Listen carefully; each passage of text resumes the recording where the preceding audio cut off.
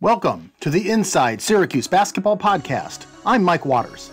Today on the podcast, I'm joined by Syracuse legend Derrick Coleman. I talked with Derrick about his efforts to provide for minority students at SU, the Coming Back Together weekend, the promise he made to his mother when he came to SU, and the truth behind the infamous fight between SU athletes and a fraternity. Well, welcome back to the Inside Syracuse Basketball Podcast, and we are in for a treat today um, our guest is a guy who I've been trying to get on this podcast since before we even started recording this podcast. um, it's the legend of 44. It's former Syracuse star, uh, Derrick Coleman. Derrick, how are you, sir? I'm good, Mike. I'm still waiting on my articles. so if you're gonna tell the story, tell the whole story why I haven't gotten on your podcast. Derrick Derrick wanted me to send him a copy of every single story that I wrote on him during his playing days. Yes. Which probably numbers in the thousands. well, you know, I, I I wanted you to do that because I'm really thinking about writing my memoirs and I definitely wanted to start with Syracuse University because it's been such a, a huge part, you know, of my life. And I tell people that all the time. My four years at Syracuse was the best time in my life, still to this day. I hear that from so many guys yes. like yourself. I hear it from Billy Owens. I hear it from Lawrence Moten. You know, guys who went on and played in the pros and had you know stellar careers, and then beyond that, They've gone on to great things in, in, in the business world, and yet they all say about it was the best time of their lives. It Why is, is that, Derrick? Because I mean, the friendships that we all develop at, at, that time in our lives, and you, it's really a situation where it's, it's boys growing into young men. You know, uh, the relationships, the people in Syracuse um, have just been fantastic. You know, to us, and it's a time of your life, Mike, really where you you're really free. You know, like we're learning that as we grow at that time, and again, developing the friendships and relationships that I have still to this day. I mean, my best friends are my friends from Syracuse University. You know, and I enjoy the time that we spend together, the conversations that we still have to this day, and definitely when we're back on campus, it's like deja vu all over again. Yeah, I remember a few years back, it was about 10 years ago now. It was the very first fantasy camp that Jim yeah. put on. And I got to kind of be a fly on the wall and participate because it was the first time ever. So they kind of, you know, they wanted to get the, the publicity out and yes, have somebody, yes. you know, write. And so I, I, and I remember one day at breakfast, and I'm sitting there at the end of a table, and it's guys like yourself and Herman Harried and some other guys, and you're all just giggling down there, laughing with each other. It's like the high school lunch table with you guys. That's all we do when we get together, man. It's just it is comedy central when we're together. And it's it's it's kind of like hard to explain. You know, it's like when I share stories with all the other guys that I know that played in different colleges and universities they don't have a core group, a network like that with their teammates. And you know, with us, Mike, it's really all generations, all age groups. But we have that passion and love, you know, for each other. And like you said, it's like being in high school at, the lunchroom table, man, because that's all we do is laugh and, and, crack jokes and and talk about each other and, and everything. Well, your connection to the school is is pretty strong. And uh, one reason I wanted to have you on the podcast, and the reason that you finally relented and came on, because is, is, because we wanted to talk about something very important that's coming up here soon at, at the university, and that's the Coming Back Together weekend. Yes. Um, can you just explain for the listeners what Coming Back Together is? So CBT is a program. I actually think it started. Um, 19 I think 85, 84 was the first year that it started. With CBT really is coming back together for all the Black and Hispanic alumni at Syracuse University. where we go out and we raise money for kids who want to attend the university but don't have the finances to do it. So yeah, you might get accepted to Syracuse, but you know what? You might need room and board. You might need tuition. You know, you might need books or whatever have you. So we raise money through different scholarships program with our time has come to support those kids who want to attend the university. So um, I think 2017, the first year we started talking about, it, I said, hey guys, you know what? We need to just have a celebrity basketball game. You know, get all of us back on campus and have fun, raise money, you know what I'm saying, but really share the word with everybody that you know, how great CBT has been, and we're just looking to expand it to a whole different level. So the game has been been great. The first year we did the game, I coached against Billy Owens. I won. I'm still waiting on my trophy. You know what I'm saying? I refuse to coach the game this year until you present my trophy. Okay. but it, it, was great. I mean, Soledad O'Brien was, was there, Vanessa Williams was there, but it was a great time. And we did it actually in the heart of Syracuse at one of the high schools. So I yeah, think at Henninger.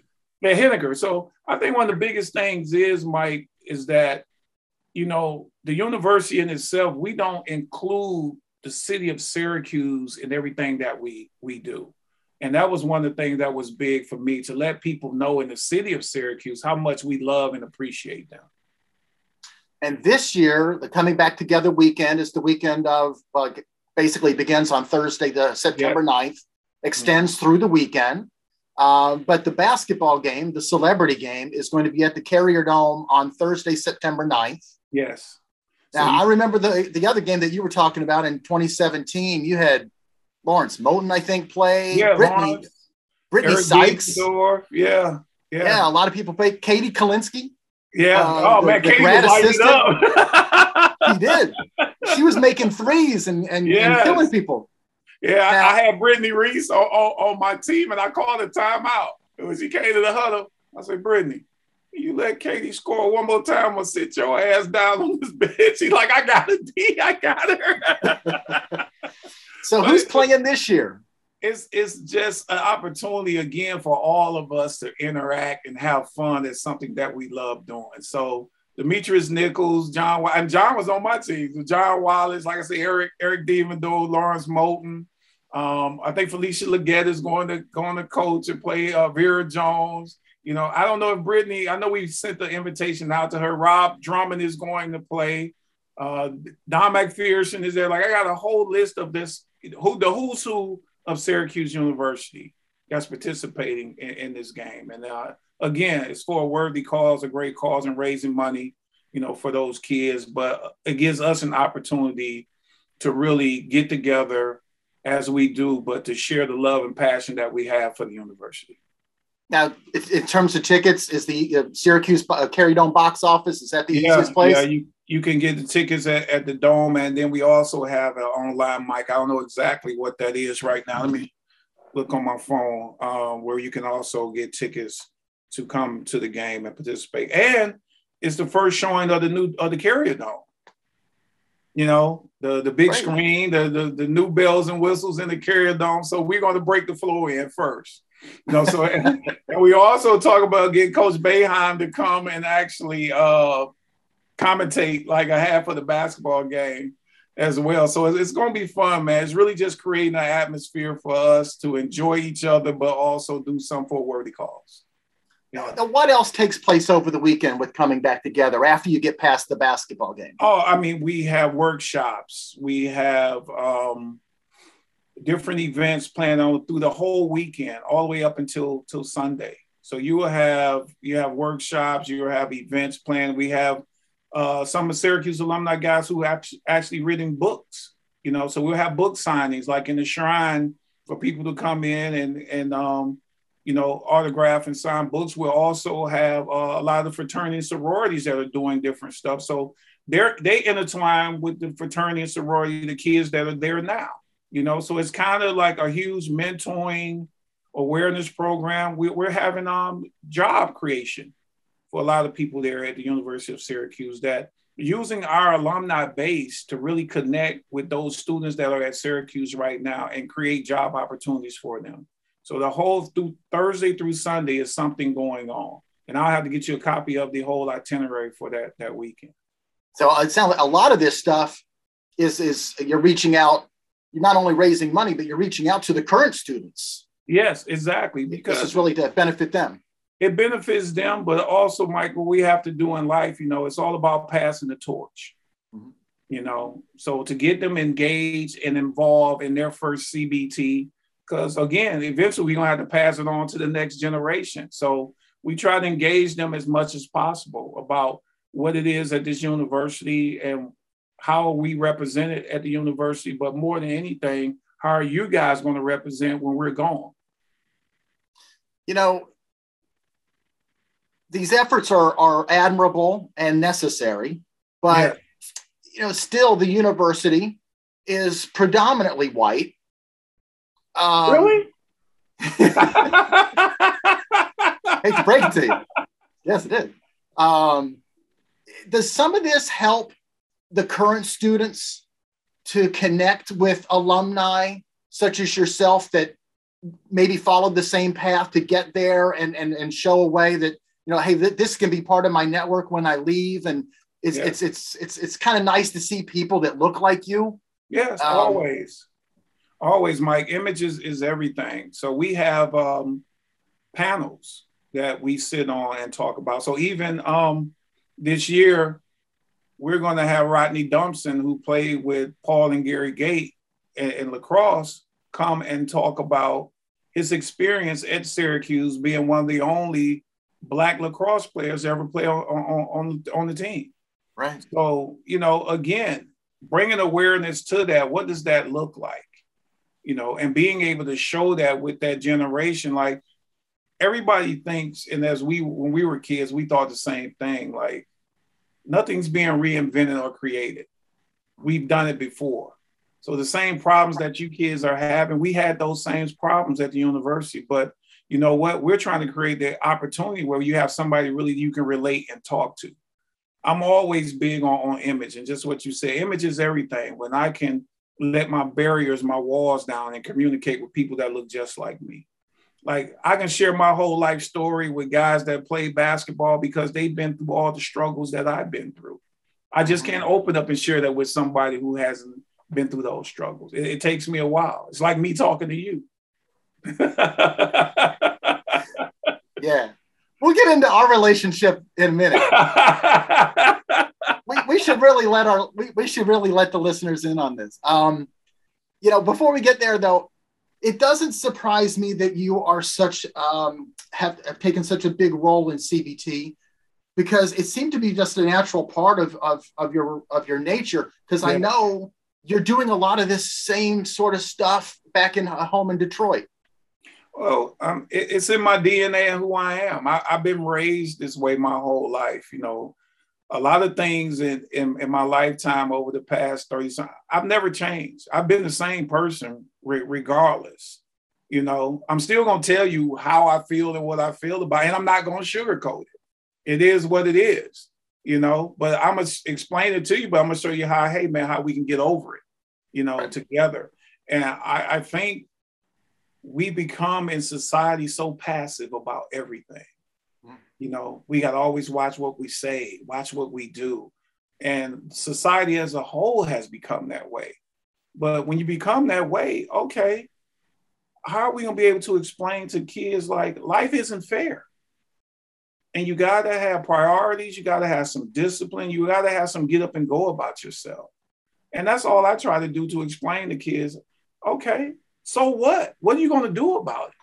You know, like you can't sit here and, and pout about because when you step outside those doors, whether it's at Syracuse University on campus, whether it's in the neighborhoods and communities where we grew up at, you know what I'm saying? You're mm-hmm. still going to face roadblocks and obstacles. What are you going to do to get over those roadblocks and those obstacles? Take me through some of the the the, the things that you are doing back there in Detroit, though, because I, I know like one, you're, you're doing a lot with youth basketball, right? Well, it's, so funny. My mom used to say that all the time. Why do you run away from the thing that you love the most?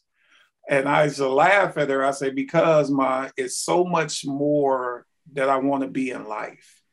Like basketball is such a small part of all of our lives and playing, and it's so much more that I want to do. So I've been an advocate for youth basketball because for me, it's just a way, Mike, for us to get to college.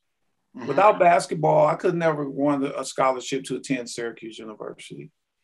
And 30 years later, our kids are still going through the same thing. So has the system failed us on what we're talking about doing? So I just try to get the youth to understand like, hey, this is a tool. You have to use that tool. I don't care what kind of ball it is but you use that tool to get an opportunity to go to school. I'm the first one in my family to go to college, the very 1st mm-hmm. But I set the tone for the generations that come behind me. You know, my cousins are now, I got two of my cousins who are doctors. You know, yeah, I set the wow. tone, well, yeah, for, for them, you know, to go to school, to want to go to school. My cousin Tracy, she owns her own daycare center. She started off going to school being a dentist. And then when she got home, she flipped it like, yo, I want to run the daycare. I want to do that. So, but she was like, Derrick, without you going to school and me coming up to Syracuse, visiting you, you know what I'm saying? That inspired me to want to go to college. I said before that, I never wanted to even, you know, go to school. I know what I want to do. So there's so many kids that are confused, you know what I'm saying, like that. So I use the basketball again as the carrot to dang. I don't worry about basketball. I do basketball in my sleep. But the thing is, what I love to do is expose kids to everything else that goes on in life. Because through basketball, you're gonna you're gonna travel, you're gonna stay at hotels, you're gonna meet people from all walks of life through the game of basketball. And one thing with basketball is that we don't care. I don't care what your race, your religion, your gender, or whatever. Are you going to help me win? That's all we care about. you know, you mentioned that you were like the first one in your family to go to college. Yes. And you went to college for four years from 87 to 91. Yeah. Um, but it wasn't until a few years ago that you completed that degree. And I remember talking with you about it. Um, you did it for a very special reason. I mean, you you had played yeah. this huge career, you had gone to the NBA, and we know you had made your money and all that stuff. But what was it, four or five years ago when you went back? Uh, well, I was actually when when online classes started. I don't know exact year when they when they started. First of all, I mean, my mother had a huge argument about that. It, it, it wasn't really an argument. It was just like because my junior year, I was really going to leave school. So we were having conversations about that, and she was like, "Well, what about school?" And I'm like, "What about it?" You know, I said I went to school, yeah, to get an education and perfect my craft I say, but here, here it is. I'm a junior in college and I got an opportunity to change our life, to change your life. You're still, I'm walking you when I come home in the summertime, I'm walking you to the bus stop, four o'clock, five o'clock in the morning for you to go to work. I got an opportunity right now to change that. Yeah. Okay. So I'm not thinking school is the last thing that's on my mind right now. I'll get back to that later. You know, so we had this this huge argument about it. And I'm like, I hear what you're saying, mom, but you ain't hearing what I'm saying. I got an opportunity to change that right now. I'm good. You know how my parents are. Don't worry about me. I'm gonna be okay. So when so this is about to be the only argument Derrick Coleman ever lost because I know how it turns out. Pretty much, yeah, pretty much. But I never even told her that I was taking online classes. So even when I was still playing, when when the classes came out, I just started taking classes. And I only need, I think, like 12 credits you know, to, to graduate. So I started going back to school online, taking the classes. I never even told my mother that I was was doing it. And it was Mother's Day, and I uh, the university sent me a copy of my diploma, and I gave it to her. We went to Sunday brunch on Mother's Day, and I gave it to her, and she thought it was a family portrait of me, my wife, and my, and my kids. And when she unwrapped it and saw it, it was actually my degree oh man, she just broke down. but again, you know, I'm a person that I try to finish everything that I start, Mike.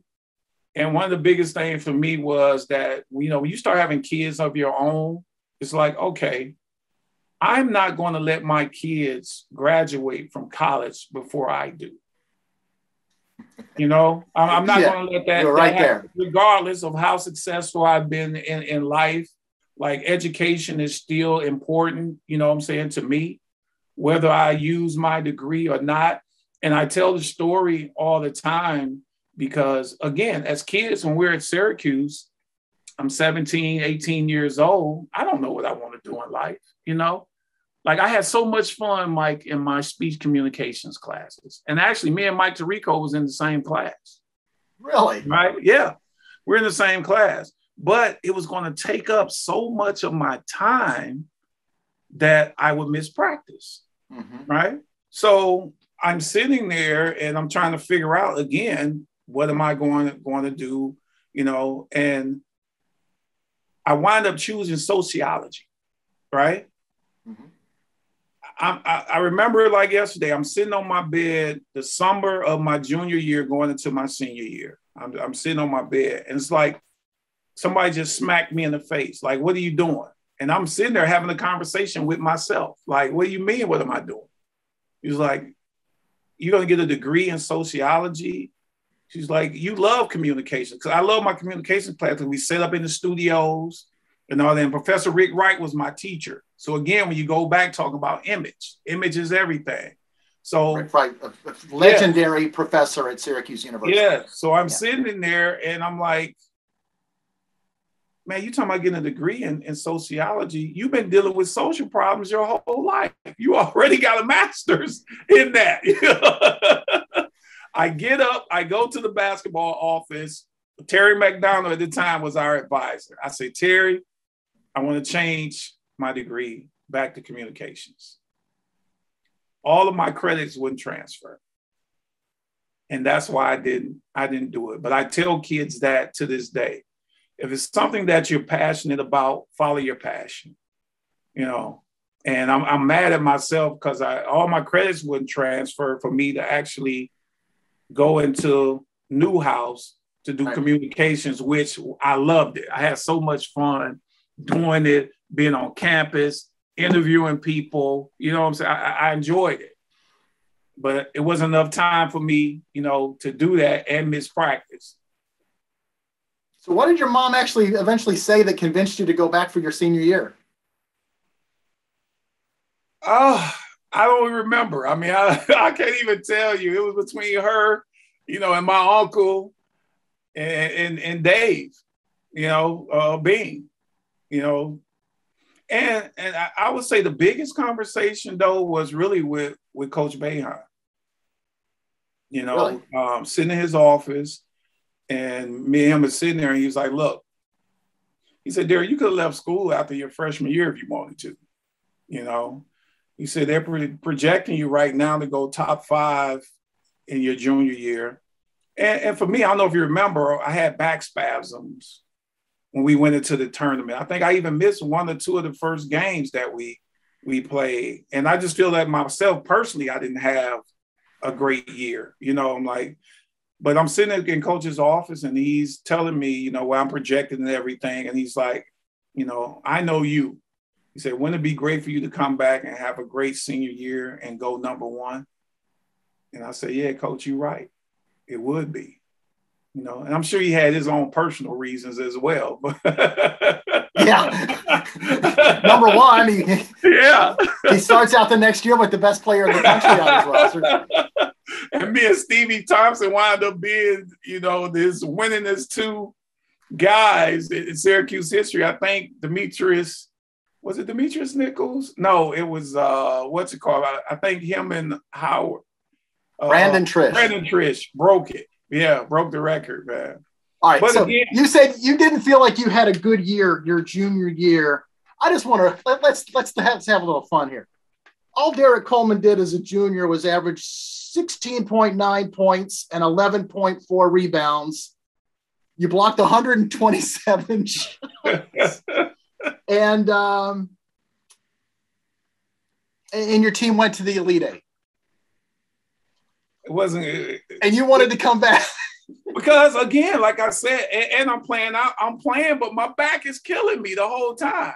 I don't know if you remember, I would come out the game and lay on the floor. I, I would never even sit in the seat. My back was bothering me. So again, I, I looked at that as yeah, good, but senior year can be better. But overall, though, Mike, I was having a great time. I was enjoying college. Mm. I stress that more than any. I don't care where you go to school at, man. It's, it's, just, it's so much fun. I mean, Syracuse is just it's just different. It's just different, man. You know, I love hearing that you look back and you talk about how much fun it was and it's great four years because I came to Syracuse halfway through your junior year, mm-hmm. halfway through that season. And it's about January of 89. And I start to cover the team then. I'm, I'm an outsider, I'm from Tennessee. Yeah. And you were already in the headlines then as I got into town. There'd been some trouble on campus. I don't look, look, don't say trouble because there never starts trouble. Say what the trouble, what was the trouble? Let me hear the trouble. I'm gonna give you the story. I'm gonna give you the exclusive right now. What was the well, trouble? I don't want to I don't want to taint the audience. I'm just gonna sit back and hand over control of the podcast to you, and you can take me through it. what was the trouble? What I do? Well, what, there was, sorry, like, what, there was what a, say I did? There was something on campus, a disturbance at like a party that started at Schine, and then eventually, wasn't the story that like, okay, didn't I, you kick in a door? No, I never kicked. They said I kicked in the door. I never kicked Good. the door. In. We can set the record straight now. You have yes. the floor. Yes. So it was a it was a fraternity party at the Schine. I got that part right. Yes. Val Glover, Chris Ingram, rest his soul. They're at the party. The fraternity guys, I don't know what happened, beat them up. I'm in the bar. All of us, and me, Billy, everybody, we're in the bar. Somebody runs to the bar and comes to get us. Like uh, one of the fraternities beat up Chris Ingram. The So we go around to the party to see what was going on. So we get to mm-hmm. to the Schine. At the, at the time, it was called the underground. We get to the underground, oh. and the fight break out between the fraternity and the athletes. So those guys run back up the skytop, and some of us go back up the skytop looking for those guys. But yeah. I never kicked the door in, and they tried to say I kicked them. No, I never kicked the door in, but somebody kicked one of the doors in, and I don't know, took one of the guys' radio or TV or something like that. So that's really how it all like escalated. Oh, Derrick Coleman kicked the door in. They took our TV. They took our. Come on, man. I, I don't need your TV or your, or your radio. But again, I've never started any trouble that I've been in at Syracuse. Now I'll finish it. I ain't got no problems in finish it at, at, all. Yeah, but I don't. I don't never start nothing. Yeah. So here I am, a wet behind the ears reporter thrown in to cover this team of personalities, unbelievable, including yourself. And this whole mess is going on. It was really hard as a reporter to connect with you at that time because, and I don't know if you agree or not, but at that point, you you you had, you had set up like a veneer, a, a wall, because I don't think there was a lot of trust at that point with, with you and any media. Never had, never had. And, yeah. and I was brand new. You didn't know me at all. Yeah, yeah. Remember never, that? Never, never has been. And I, I, I think you know I blame Coach Boeheim for that because really? he because he's never had no communication with the media either. so we we took on the same image that he took on, you know, very very short with the media, you know, conversation. I mean, he's gotten better with it over the years. It's kind of like the same situation with John Thompson in Georgetown. Mm. You know, John never let his guys talk, you know, I'm saying, to the media or anything. And, and my problem has never been, you know, with the media, just like it's dictating the stories. You know, it's no matter what I say, like, yeah, me and you having this conversation right now, and you know, it's live. So it's coming directly from me. It's not like I'm telling you a story and then, you know, media will take bits and pieces of the story to make it to a whole different story that I never even even said. So I've always had that problem. I've always been cautious of that. And I'm like, you know what? From now on in my life, I'm going to control my own narrative. I'm going to tell the story. I, am going to tell you the, the truth in it, you know, and, and everything. I'm not going to let anybody else tell tell my story. I'm going to control the pen. I remember the first time I had even an inkling that we were going to end up maybe having a slightly better relationship, reporter. You know, it was after you were done at Syracuse. You had been in the pros for several years. You might have been in Philadelphia. And I don't know if you remember this, but you came back and I had an occasion to interview you, and you said, Yeah, I used to think you guys here in Syracuse were bad until I got to Philadelphia. you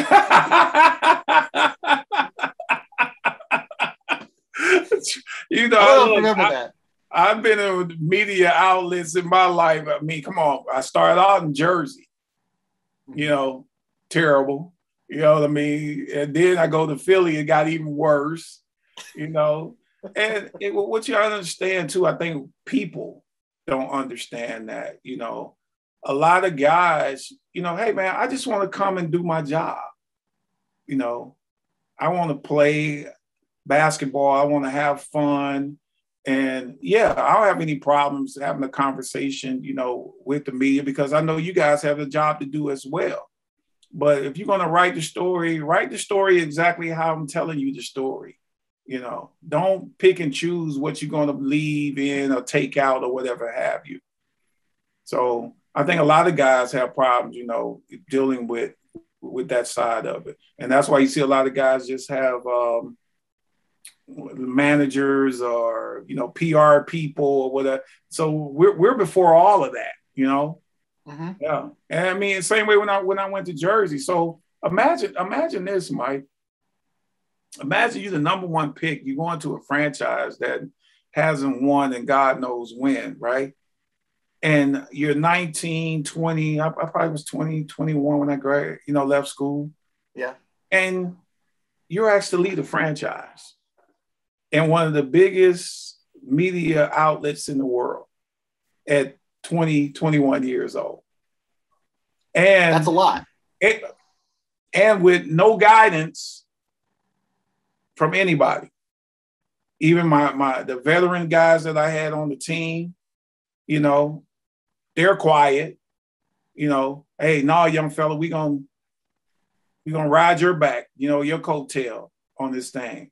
So when I look at stuff like that, my life has really been trial and error, you know.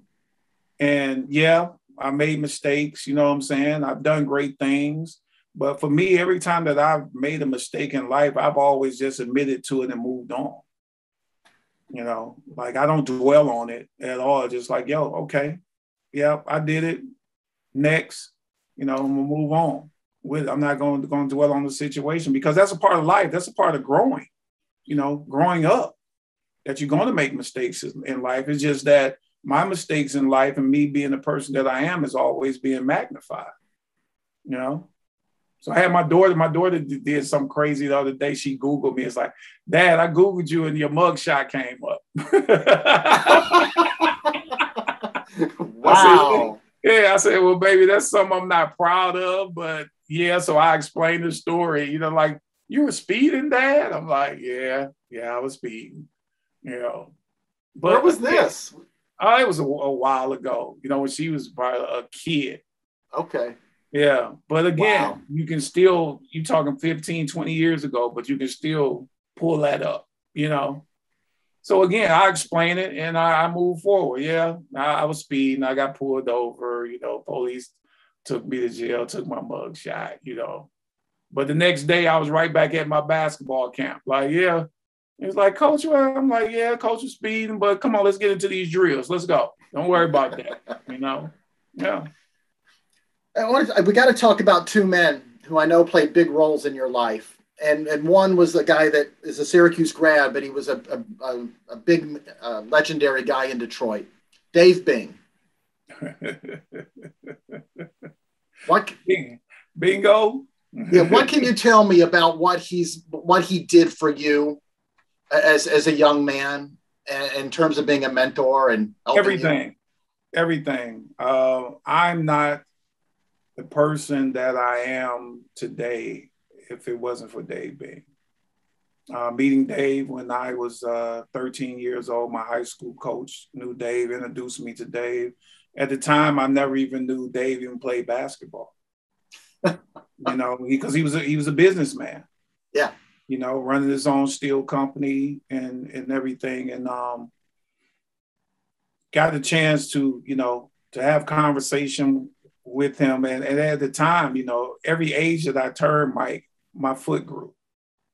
When I was 12, I wore 12. When I was 13, I wore 13, 14, 14, 15, 15. So it was hard for me to find shoes growing up. And my coach, when he introduced me to Dave, was like, hey man, you gotta find this kid some shoes. that could be a problem. Yeah, ex- exactly. And um, met Dave, conversations with Dave, but again, when when it's through basketball, and at the time not even knowing, I was going to see him one time at his at his uh, business, and I'm sitting in the lobby. You know, the receptionist, you know, call upstairs and like, well, he, he'll be with you in a minute, Derrick. I'm like, okay, but it was a poster, you know, up on the wall, um, and I'm looking at the poster, so I see Dr. J, you know, see Doc afro, you know, going to the hole. Uh, see Bob Lanier, you know, in the corner. I said, damn, that's Dave. You know, so when I get upstairs, I said, hey man, you never told me you played basketball. He was like, it didn't matter, Derrick. But I when, when I found out who he was as a basketball person, that like opened our whole relationship up to what it is right now. Like you said, when you talk about barriers, all barriers are, are down because he understands everything as a businessman, a, a basketball player that I'm going through in life right now. Mm-hmm. You know, so he's been my mentor, he's been my pops, He's been my friend, my confidant. You know, he's been everything in my life still, you know, to this day. So me growing up seeing uh, Dave, you know, own his own business is, hey, I want to own my own business one day, you know. So again, image is, is everything, is what you talked about, you know, earlier, man. And um, I still, you know, I just talked to Dave yesterday. Like we still get together, we still have lunch and, and, and conversate because there's still a lot more stuff for us to do. And even with his mentoring program, which I'm a part of, you know, but who's better to tell the story than me? Because mm-hmm. without you being my mentor growing up, who knows where I've been and, and what the outcome, you know, would, would have been in my life. So no, man, that's, that's, that's my guy. I love him to death. Did he direct you or encourage you to go to Syracuse? Of course. All right. So so think of think about that. You know, at 13 years old was my first time I actually came to Syracuse uh, basketball camp. Wow. Yeah. So Dave in the summertime, he's like, hey, get you out of the city, you know. Um, coach was having a basketball camp in Syracuse. You want to go? I'm like, yeah you know. So me and my friend, he's a coach here now, Steve Hall. He coaches at Cass Tech High School here in Detroit. Me and Steve used to go because Steve Hall dad used to work for Dave. So me and Steve okay. used to come to Syracuse basketball camp every summer. And then as I got, you know, 15, 16 year, years old, my whole team would come, you know, with us wow. to Syracuse basketball camp. And I mean, as a kid to actually be on a university. I mean, again, that's eye opening in, in itself. You yeah. know, so being there on campus and then to walk into the Carrier Dome, you know what I'm saying? At 13 years old, like, man, what in the heck is this?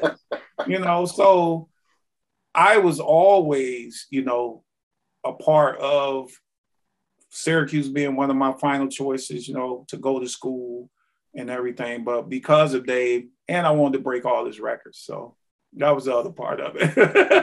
oh, you did that too. Congratulations. Yeah, yeah, yeah. I got to have some bragging rights. So, what was your first impression of Jim Boeheim? Coach? Oh my God.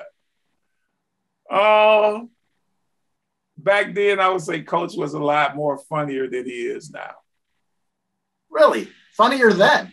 Yeah, always, always like sneak quiet snaps, you know, always. Um, his competitive edge, I, I, have always liked. I might not agree with him all the time, but you know what?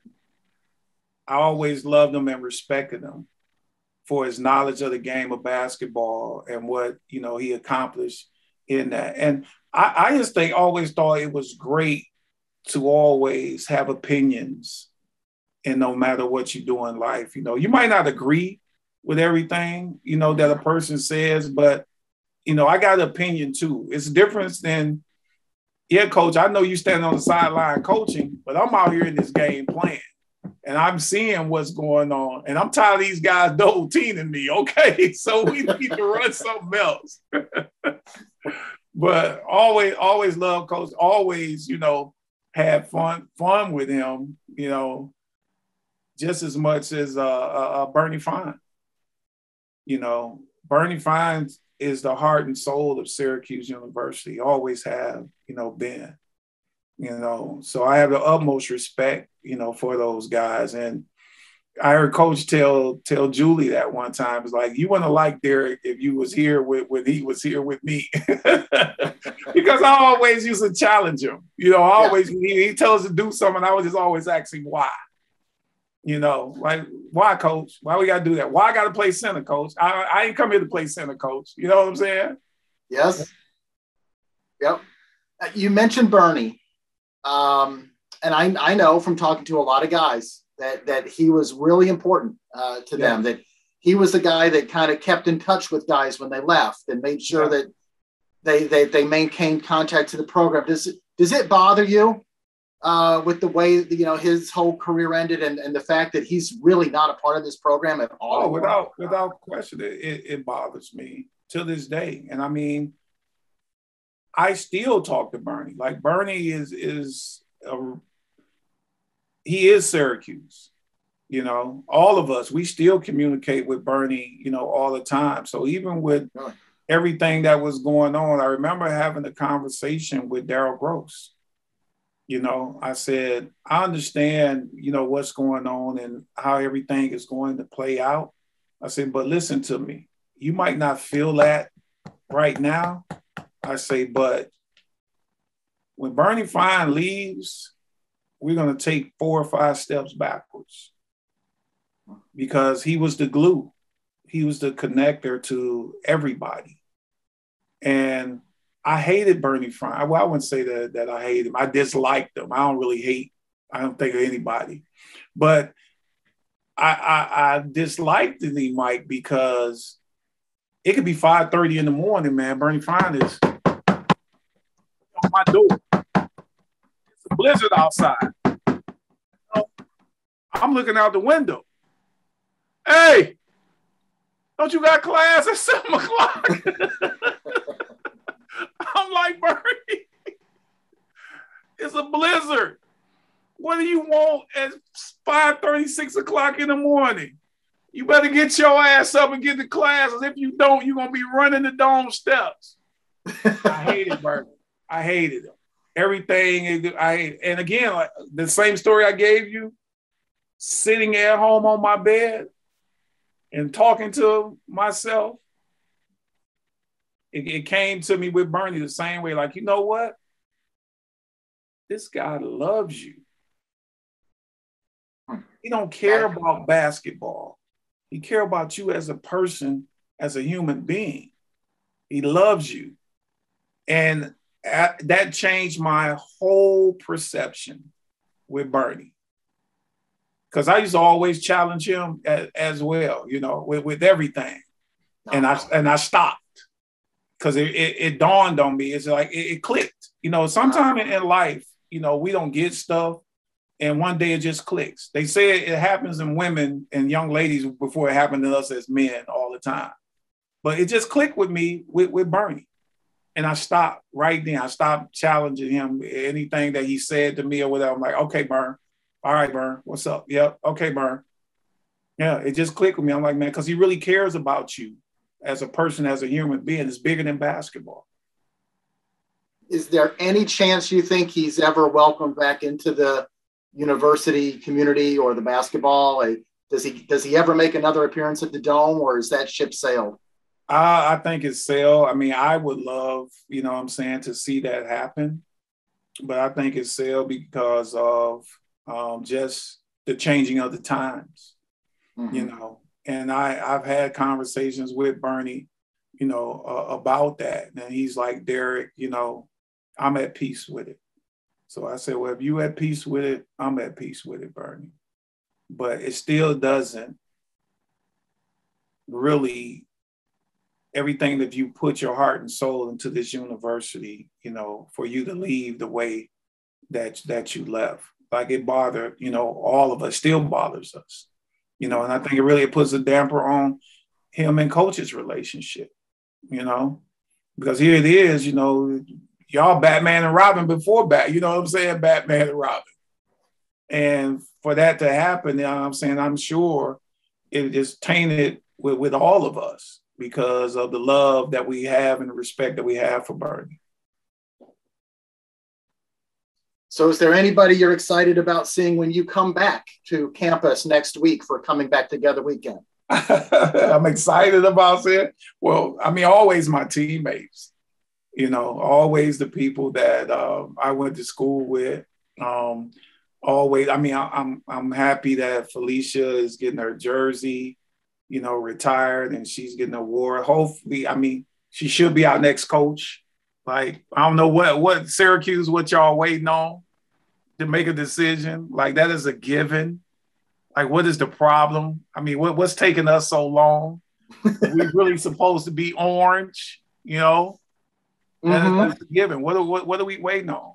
You know, she has the credentials she's local. I think she would definitely bridge the gap between the university and the city of Syracuse, the disconnect that still goes on there.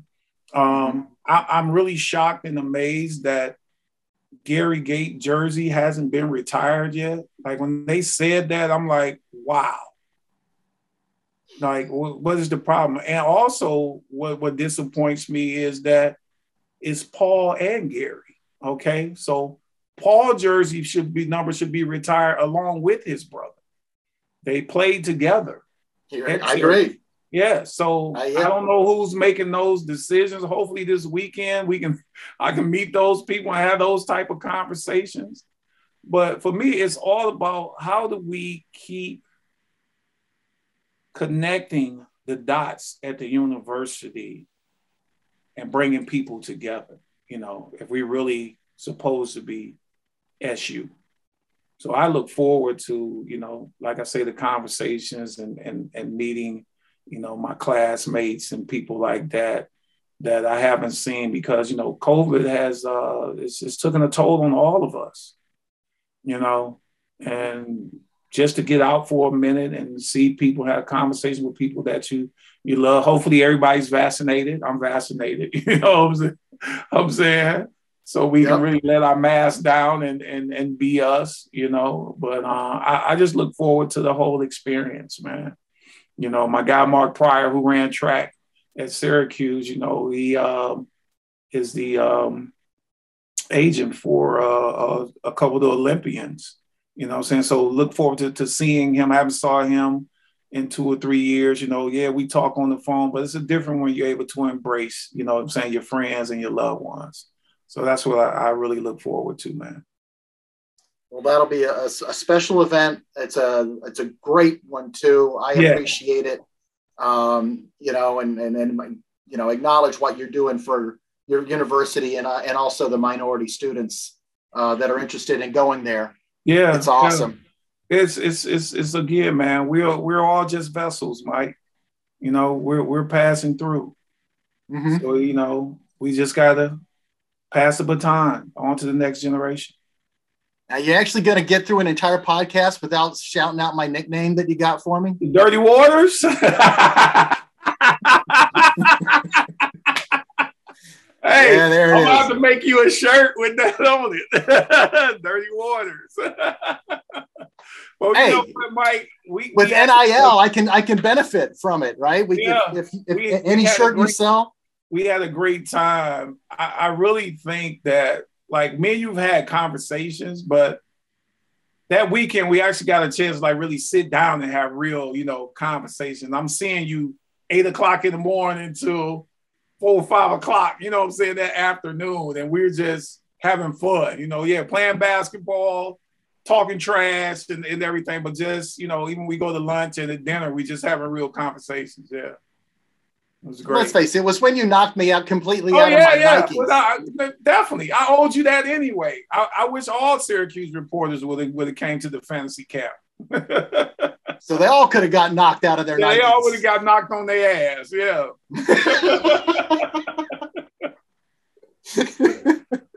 I got up. Yeah, you um, did. You did. Yeah.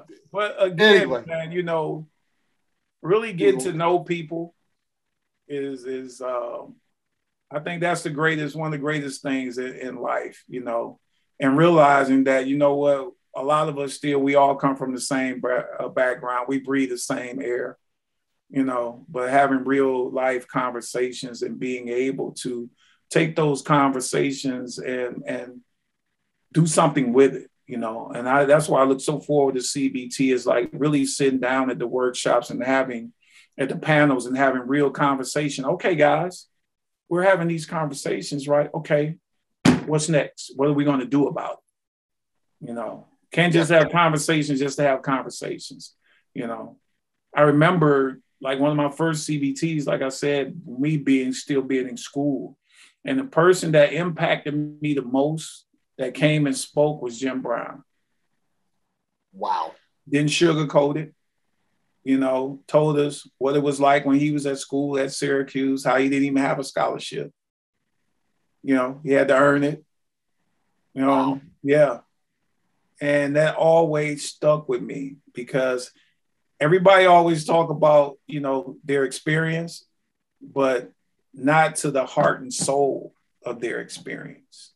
When I'm still a minority, a black man or a black woman, and I'm still at this university, but I'm still facing the same things I'm facing when I'm at home. So when those kids are up there protesting, mind you, all the time, we're on the phones, we're on Zoom calls or whatever. Hey man, I salute y'all. I'm gonna let y'all know that you got an ally right here with me, and I will come up there because you're right. Your voices need to be heard and we have to keep moving the envelope. We got to keep pushing the envelope, Mike. You know, that's the only way we're going to make change in life, and we got to make change at our at our university as well. It's inclusion, and don't mm-hmm. just don't just include us to include us because it looks good. You know, you check yeah. in the box. Don't just check the box. So a person like you who has the power of the pen, no, I can say it, but when a person like you, Mike, says it, people pay more attention to it because it's not a color. You know what I'm saying? When I say it, they're like, oh, well, you know, you you you just being, you know, radical or whatever. No, I'm telling you exactly what it is. But for a guy like you to say it's like, oh, well, maybe there's some truth to really what Derrick is talking about because Mike agrees with him. you know what I'm saying? So you always got to have people to advocate for you on anything that you're that you're doing. But I salute those kids, you know what I'm saying? Because when it's not right, it's not right. And we have to make it right. Yeah. Yep, I hear you. I and uh I think that's why it's so important to, to keep doing things like you're coming back together weekend and keep that up. So yes, I, I, salute you. Yes, sir. No doubt. Appreciate it. I look forward to seeing you. You'll see me. And I appreciate you coming on the podcast. Oh, it's man, a pleasure. Don't wait on my articles now. I, have been on here with you. This is the first and last. I guess I got to come through. Yeah, you got to come through for me, man. I got to start that memoir. You know, I got I got to read all the bad shit that y'all said about me. and there you have it. There we go. and flip it. You hear me? Yep. there we go. Okay, we're cutting off the podcast now. Derrick's had enough. Hey, bro. Appreciate you. See you, sir.